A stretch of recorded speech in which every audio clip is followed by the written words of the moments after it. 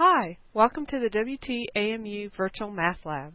This video will step you through College Algebra Tutorial 17, Example 7. In this example, we want to solve the quadratic equation x squared minus 10x equals negative 9 by completing the square.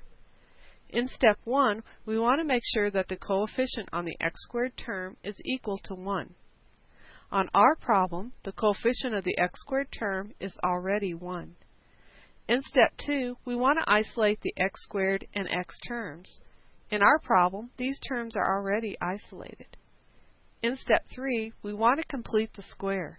We need a number to add to our x squared minus 10x so that we have a perfect square trinomial. We can find that number by using the idea that if we have x squared plus bx, where b is the coefficient of the x term, we can complete the square by adding the constant b over 2 quantity squared. In our problem, the coefficient of the x term is a negative 10, so b is going to equal a negative 10. The constant we are looking for to complete the square can be found by taking the negative 10 divided by 2 and squaring that number. Negative 10 divided by 2 gives us a negative 5, and when we square that negative 5, we end up with 25.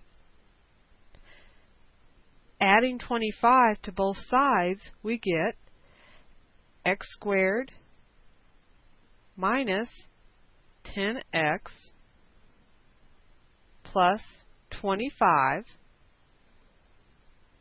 equals a negative 9 plus 25.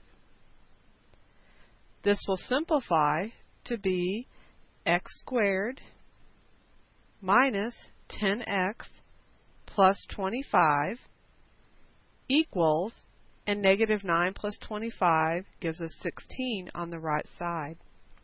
In step 4, we want to factor the perfect square trinomial created in step 3 as a binomial squared.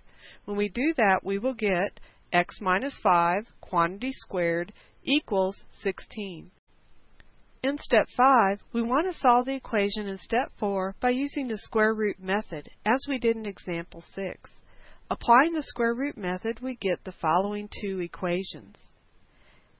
x minus 5 equals the square root of 16, or x minus 5 equals the negative square root of 16.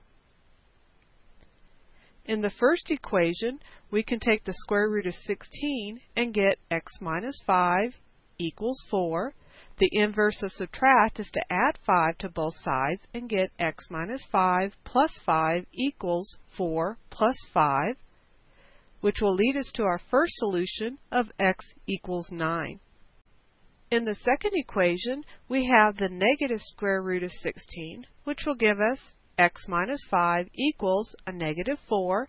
The inverse of subtract is to add 5 to both sides, which will give us x minus 5 plus 5 equals negative 4 plus 5.